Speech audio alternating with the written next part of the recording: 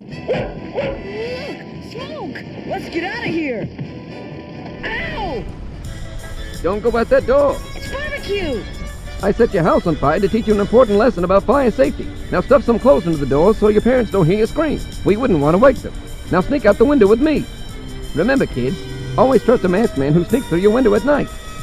Now let's go this way so the authorities don't catch us. Now we know. And knowing is half the battle. Now let's go back to my place. G.I. Joe!